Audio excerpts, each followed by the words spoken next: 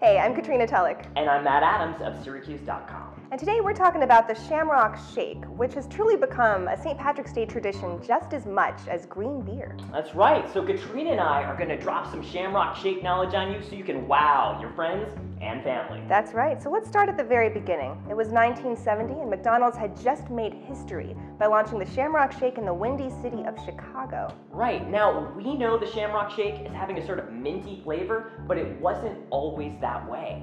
The original Shamrock Shakes were flavored with vanilla ice cream, lemon and lime sherbet, and vanilla syrup. Sounds kind of gross, right? Well, luckily it didn't stay that way. In 1973, the lemon and lime sherbet were removed abruptly, and it was just left with a plain vanilla milkshake with some green food coloring. But luckily, in 1983, some genius thought, let's add mint, and it's been that way ever since. Now, another item worth mentioning is that McDonald's created a character named Uncle O'Grimacey to market the Shamrock Shakes.